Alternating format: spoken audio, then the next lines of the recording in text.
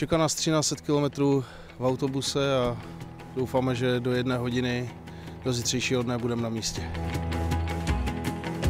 Program vlastně, jakmile přijedeme, ubytování oběd, eh, kolem eh, čtvrté hodiny eh, bychom měli mít svačinu s krátkou poradou a od 18 do 19.30 by měla být tréninková jednotka vlastně v hale, ve které už se potom bude hrát na druhý den.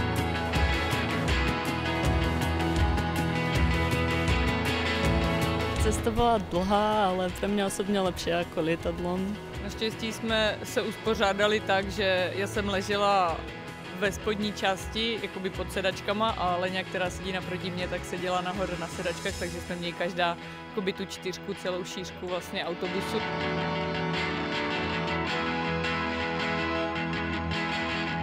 Potom, co jsme projeli hranice Srbska, tak je Kosovo hezčí, což mě dost překvapilo.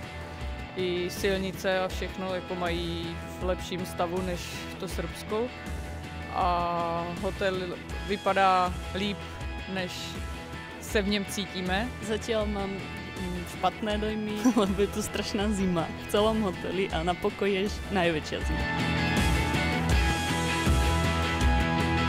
Teď si vlastně jsme si odpočili na hotelu a těšíme se na trénink, až se rozejbeme ještě víc.